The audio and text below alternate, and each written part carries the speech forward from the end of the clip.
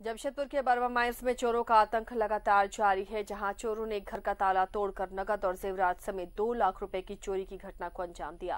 फ़िलहाल पुलिस से शिकायत कर, दर्ज कर मामले की छानबीन में जुटी है।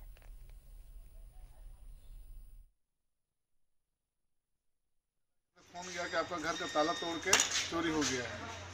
तो हमने तुरंत गाड़ी पकड़ गाड़ी पकड़ तो देखे कि घर का दरवाज़ा पूरा तोड़ा हुआ है। तो अलमारी में सब फेंका हुआ सामान वामान फेंका हुआ है। तो हमने उसमें वहाँ पर पैसा रखे थे, अपना मेरा एक लाख पैंतीस हज़ार था और मैडम का बीस से पच्चीस हज़ार था और गहना उनका पचास, साठ हज़ार रुपये था, सब मिला के दो लाख का चोरी हुई। और चोरी तो सर एरिया में बराबर होती है, लेकिन पुलिस अब तक एक्शन लेते ही नहीं है। चला गया